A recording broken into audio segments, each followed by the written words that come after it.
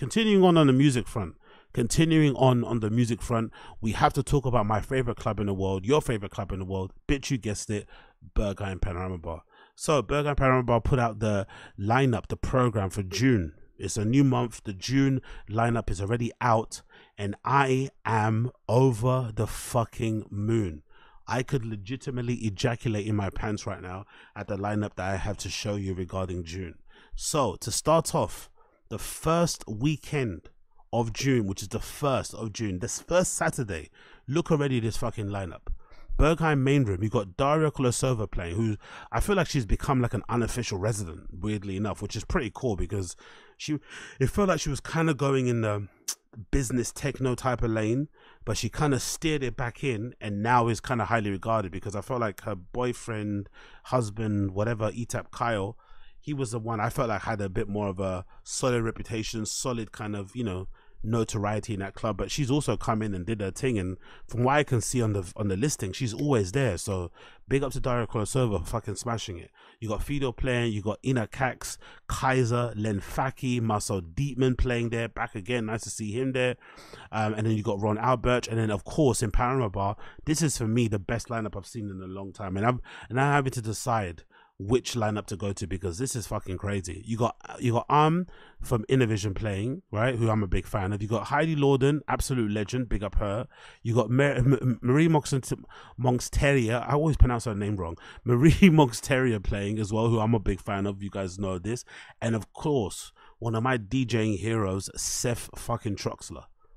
That's already one, two, three, four people that I'd easily pay 25 to fifty dollars to see each of them playing one time in a club in London, and all four are playing in fucking Panorama Bar on the same night, along with Nemo, along with Francesco Menudi, along with Deepa, along with Castro. Like, god damn it, what a good lineup!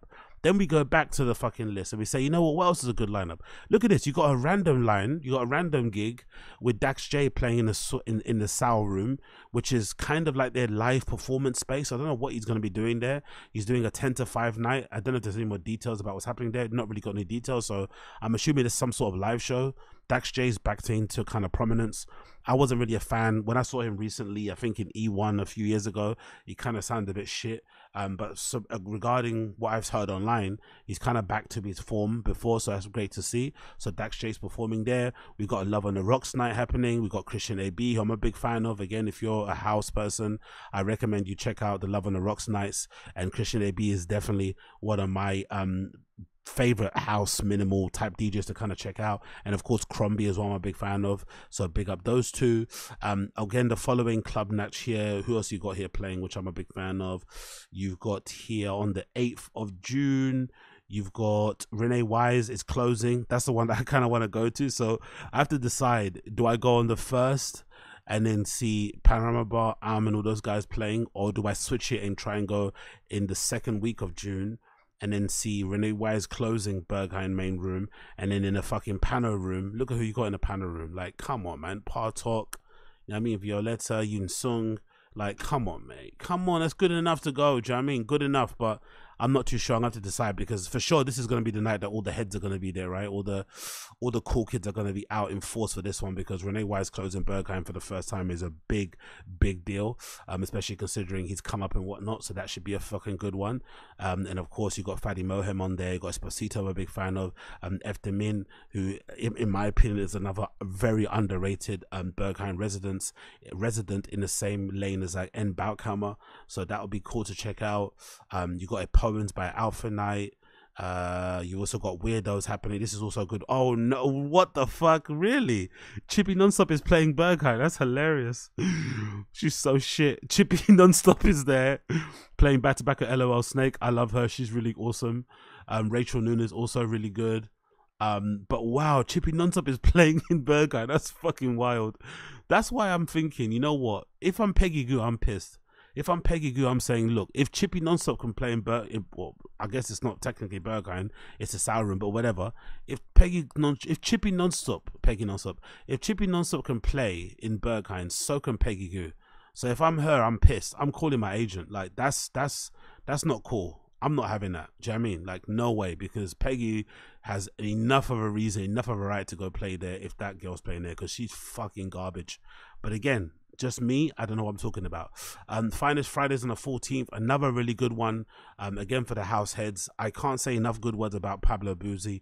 Um, synth pop, new wave, indie dance, um, EBM just incredible, really fucking good. Honestly, if you if you're a fan of that type of shit, um, you know, I, recommend you check him out. Honestly, like, there's nothing else I can say about him. He's so fucking good. Pablo Bozzi, definitely one of my favorites. So definitely check him out. Brian Kessler as well. Um, I've actually I think he might have a new EP out at the moment. No.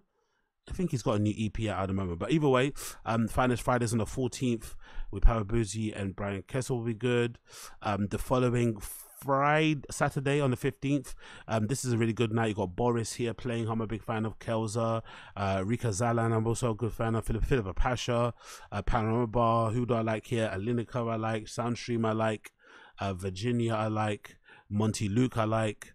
Um, you got a crack night happening as well with dying so oh di- oh I thought, I thought that was dying syndrome. I'm about to say no, it's drag syndrome.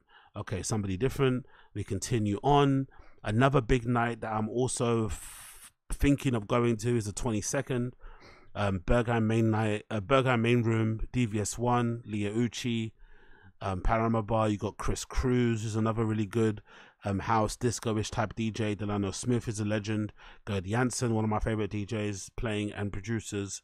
Um, and who else? Oh, you got Black De- Devil Disco Club as well playing in Seoul. So this is a very housey oriented night, actually, if you think about it.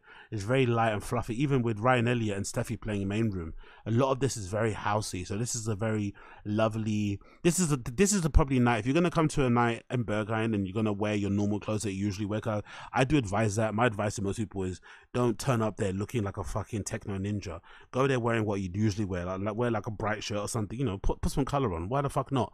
Um, this is a good night to do it on the 22nd. That's a good night because a lot of these people are quite disco-y, housey, um, you know, party vibes um, adjacent. But again, I could be wrong. And then scrolling, scrolling, scrolling, scrolling down, um, one of the bigger nights again for the end of the month is the 29th, which features Ben Klock in the main room. OG is there, um, GGFM, Ogazon, um, you got Setaoc Mass, who a lot of people are a big fan of as well. Um, he's definitely somebody people look at in terms of the same vein as like the Marons and the Rene Wises and shit. So if you're a fan of that type of vibe, you'll definitely like him. Um, I like him as well, but he always looks very sweaty when I see him play not too sure if it's the Ketty or if it's just him in general. I don't I, I don't like the sweat. He just looks very sweaty all the time when I see him. But he he looks like a fucking he, he plays amazing stuff, great producer and shit. But just too sweaty for my liking. Uh, Pano Bar, you got Ida Cormac, I'm a big fan of. Great fucking disco DJ. Um, definitely one of my favorites. Jennifer Loveless, Joe De Leon, Katy, um, sorry, Katie De Jesus, and one of my favorite underrated um Pano Bar DJs in general, N Baumecker, and they're generally a good guy, a nice guy. Whenever I've bumped into him, Pano Bar and said hi, he's always said hi back, which is lovely because you know I've had some very dicey runnings with DJ. So whenever I see him and my jaw's swinging from left to right, and he still says hi to me, it always kind of fills me with joy. So I'm gonna be an N Baumecker, um, you know, defender for the end, and of course Optimo as well. Less said about him, the better. Obviously, absolute legend. So that should be fucking good. But yeah, um, all in all, stacked June lineup, absolutely stacked June lineup. But I have seen some people specifically on you know the forums and whatnot and the spaces and the Reddits and the Instagram pages complaining about this lineup, saying, "Oh, it's just the same old." It's like people are spoiled, isn't it? And it's, it's understandable why because Berlin's one of the best dance music cities in the world legitimately one of the best dance music cities in the world there's so many clubs um, the culture around clubbing is really mature. It's it's really, uh, I guess, mainstream. That's what you could call it, right? You don't look, you don't look at as a freak if you if you rave out a lot. It's, you know, there's not a lot of like lifestyle shaming as there is over here in the UK. Um, you know, there's a there's a grown up attitude towards drugs and alcohol and shit and fucking all this sort of stuff, right? It's just a fun place to go and party and to you know enjoy the music, dance, meet new people, blah blah blah blah And obviously, because of that, it's also the mecca for people to move over there for that shit. So I'm assuming a lot of labels are over there or in the vicinity. A lot of artists live there. All the big clubs people want to play at are in there. So it makes sense. But I think if you just kind of zoom out a little bit and just look at the fucking lineup that's on these, you know, the names listed here, and you think about the you know the price that they pay so they, they charge you is like what 30 euros maybe 10 more if you do a re-entry or 5 or 10 more if you do a re-entry. In total let's say 50 euros including your train ticket to go to the place. 50 euros to see all of these people at any given night and the night ends on fucking monday. Come on bro. Like come on be a little bit grateful. I understand if you live there in berlin and you are really obsessive over the lineup and checking who how many new names are there. I, I, can understand why seeing some patterns of the same people is annoying. Like for instance people always complain about daria kolosova right? Whatever. That aside let, uh, let's say she's on there too much. You still got all the other names on there who legitimately in london specifically you're paying at least 30 pounds to see daria play on her own on the lineup with other people you don't really give a fuck about let alone you got everyone else playing there. Marcel Dettmann, Ron Albrecht, like Fiedel. Come on, man. Like, like, and then you, and then you and then in the same club, you've got a room where if you don't like oots oots oots, you don't like fucking hard, fast, dark techno with people wearing double soled fucking Dr. Martens and harnesses and stuff. If you don't like all that sort of shit, you can go into a room upstairs where it's light and airy and hear people, you know, like um Castro Deepa, Francesco Minudi, Heidi Lawden, Heidi Lawden, sorry, um, Marie Moxteria, Nemo, Seth Troxler playing. Like you can all in the same space. You don't have to leave and go somewhere else. So I don't know, man. I think the Berlin people are kind of spoiled, really, really fucking spoiled. And again, think about it. This place is a cultural institute now, right? It's become a cultural institute, which basically means it's never going to close anytime soon, unless obviously the founders decide to sell up and do other things.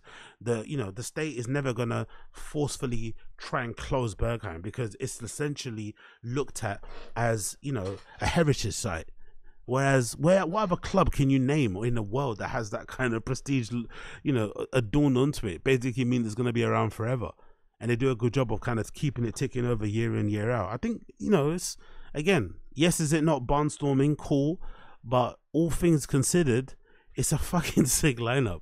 Like it really fucking is. And see people complain about this shit. I was like, wow, man, these guys don't really know how good they have it. Honestly, please spend the summer in London not even London. Come, please spend the summer in fucking Manchester and try and see how many weekends you can legitimately go out and have a really good night. And and most of the time, it's not even the fault of the promoters. It's just going out. It's just so fucking random here. The you know the, the temperature, the fucking the attitude of the people. It's just all over the place. Even if you do all the right things, you have the door picker, you have all these type of things. you still can't control how you're not. Especially if you work Monday to Friday and you want to go on a weekend, you're having to rush home, pre-drink, leave your house by what 11 to get to the club at maybe 12 that might close at 3 honestly these people in berlin don't know how good they have it man. They really don't know how good they have it. But yeah big up berghain. I love the venue. I love the fucking lineup. June 2024 is looking like a big one. I'm not too sure what i'm gonna do in terms of the dates because i want to go to like four of these dates and obviously i don't live there. So i can't do all of them but i legitimately could go to the first of june for that particular night, that's definitely what I want to. I would definitely love to go to that. I would also love to go on the following, um, on the 8th of June, which is the one that Rene Wise is closing. I'd also then like to go to the one at the end, which I think is the one that features DVS1, right? Is it the one? No, this is the one, yeah, on the 22nd. Yeah, there's actually a there's, there's actually more than that. There's a 22nd I want to go to DVS one and Gerd Janson, and then there's a 29th one that features Ben Klock, um, Setaoc Mass, and uh, Optimo and M Baumecker playing in panel bar. So there's literally four separate dates I could go to. And these motherfuckers out here complaining, oh, it's not that many. I want more. I want this. It's like, bruh, you guys in Berlin don't know how bad other people have it. You don't know how good you guys have it. And this lineup is actually more than good, in my opinion. But again, what do I know? I don't know absolutely anything. I don't know absolutely anything.